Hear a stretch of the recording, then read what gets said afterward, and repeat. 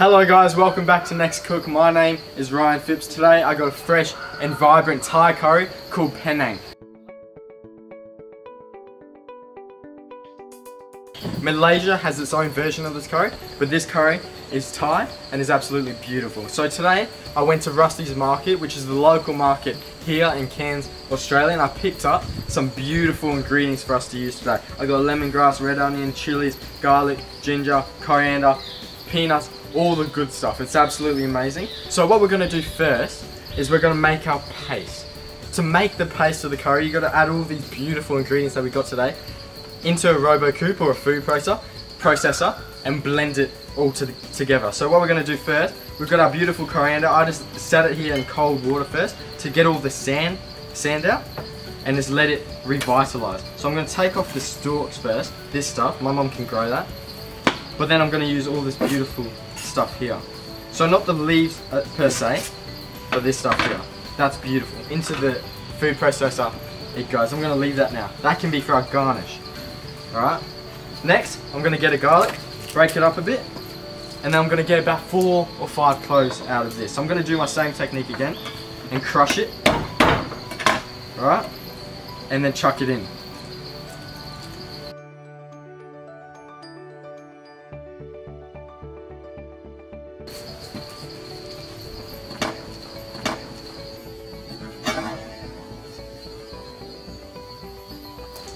Alright, I'm back. Alright, so I got some beautiful ginger here. I'm gonna just break up a couple pieces of this.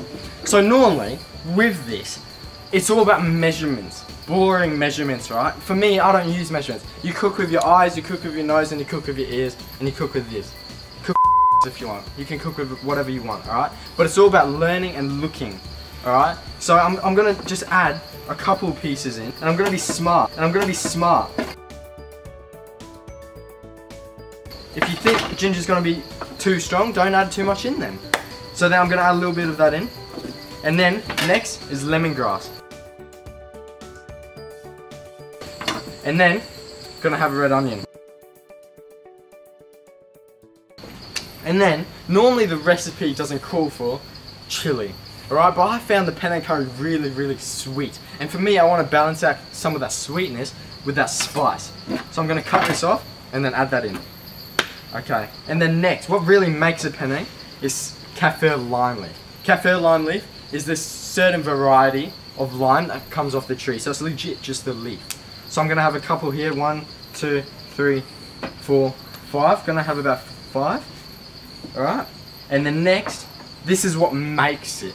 Penne is legit just curry paste, but with peanuts, all right? So we're gonna add these beautiful peanuts in. If you want measurements on this, that's about 200 grams, that's all I know.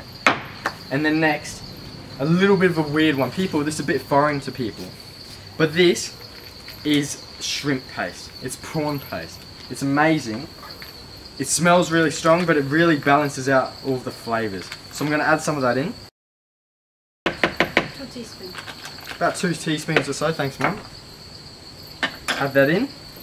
And then a little bit of beautiful fish sauce. If I can get it open in. Here we go. Not too much. And then that's on. All you have to do, this is the paste, we go whiz it.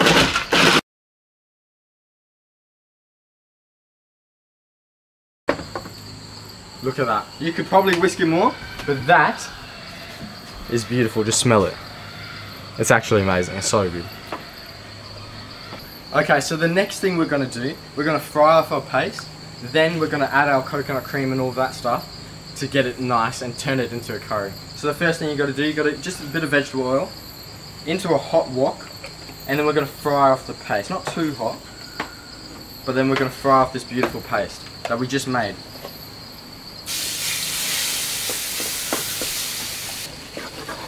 So it cooks off all those harsh flavors, but it leaves the vibrancy and the amazing thing to it. Cheers. you actually read my mind. You actually read my mind. I needed that. it's amazing. A tea towel is crucial. It's just absolutely crucial. It's amazing. Honestly, it's amazing. It's just so versatile. Honestly. you can pick up, you know, hot stoves with it, pick that up, you know, wipe with it, don't know why. Um, wipe down the bench, wipe down everything. It's beautiful. so versatile.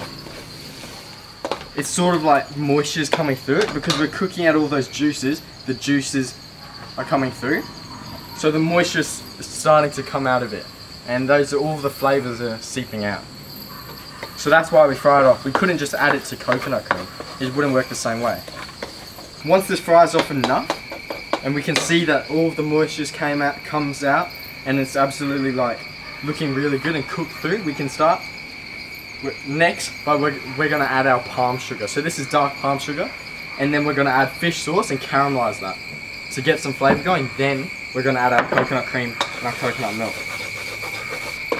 Make sure it doesn't burn. But it's okay if it's frying meat. Don't be afraid of heat. Heat is so important. Look at that. Beautiful. Beautiful. Alright. Next, I'm to add my beautiful palm sugar straight in. To add that in. And then add some fish sauce. I'm not to be too fanatic about how much I'm to put in. I'm to be generous. So this, the fish sauce and the palm sugar, it's to caramelize the paste. So that's where the sweetness comes on. And as I was saying before, it's really sweet. So that's why it is, because of the palm sugar. So just mix that through, let all the sugar come out. It should turn into a liquid form of sugar, or syrup form.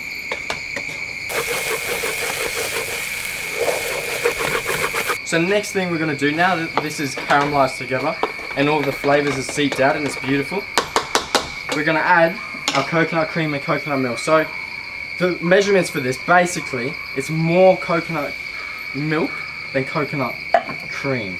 So I'm going to add two things of coconut milk. Right. And then one thing of coconut cream. So I'm going to mix it together first, the coconut milk, incorporate it right? And then the cream. That's the cream. It's beautiful. It's amazing. I like cream better than milk, but the two and two go together. So mix those through. And it looks a bit white now, if you can see. It looks a bit white. But then once it simmers, all the flavors are going to come together with it and it's going to be amazing. Okay, so shit happens. We're out here in Cairns, Australia. It's, we're in the tropic. It's raining season, so it's wet now. Um, but you got to adapt and overcome. So basically, before the the film cut out, but what I was saying is that we got to leave that beautiful Panang curry to simmer. So you got to let it simmer for 30 to 45 minutes, so that all that flavor goes through. It becomes dark, and then it becomes beautiful and amazing. So that's what we want. So what I'm going to do to serve with it you can basically serve with it whatever you want. Duck, chicken, um, barramundi, which we're doing, you know, snapper, any type of fish. Okay, so basically barramundi is local. Not local, you can find it in different places, but really significant to Cairns. It's a mud barramundi, it's, it's local, it's beautiful, and it's, oh my god, look at that. I got some vegetable oil here, I got a hot pan, a little bit of oil, put that in, Right, make sure you have your umbrella. And then I'm gonna give it a little season. Not the water. gonna give it a little season of salt. So just salt. Nothing really spectacular. Put that in. Hot pan. And you want that to fry away. That's beautiful. Okay, so it's stopped raining now. I can put this away, thank God. Alright. And then get your spoon, flip it. Oh, that's amazing. Come close. Come close. Look at that. That brownie.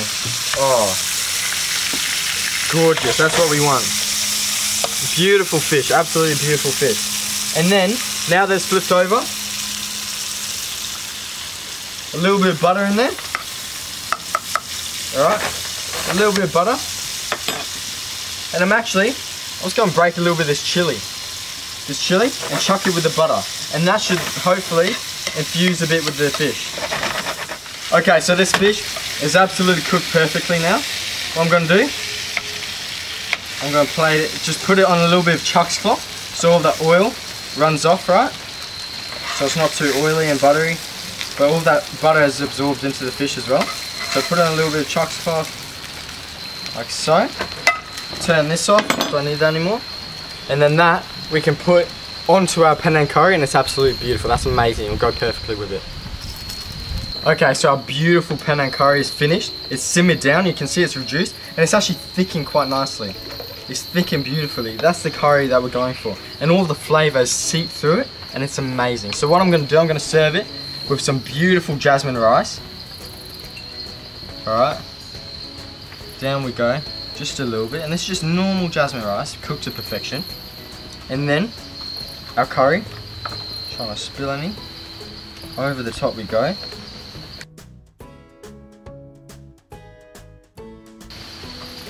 And then our beautiful barramundi. Just gonna go over the top. Like so. And then